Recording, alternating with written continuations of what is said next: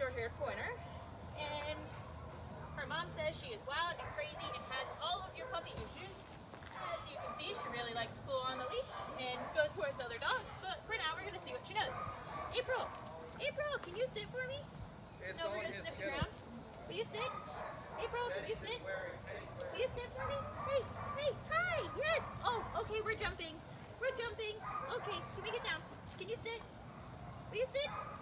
No, that's jumping. That's the opposite of sit. How about lay down? You're not gonna lay down. Okay, let's go for a walk then. Over here. Over here. Girlfriend, this way. Go this way. Yeah, let's go. Over here. Okay, so she just wants to go wherever she wants to. We don't really have a sit, and we don't have a down. But check back in 15 days and see her transformation.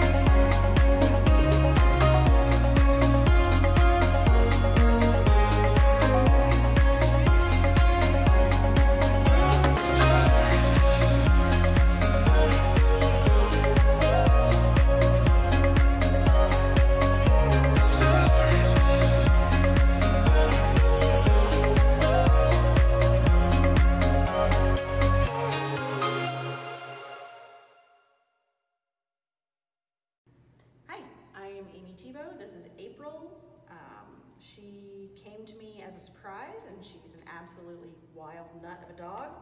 Um, so some friends recommended bulletproof dog training, and it was a godsend. Megan's our trainer, and April is all ready to go home now, and I could not be happier with her pro- the progress and what I've learned. So I would definitely recommend Bulletproof. It was a great experience, and I feel like I have a great dog now, and we're gonna go forward from here. So thank you very much, Megan, and everybody at Bulletproof. Oh, thank you.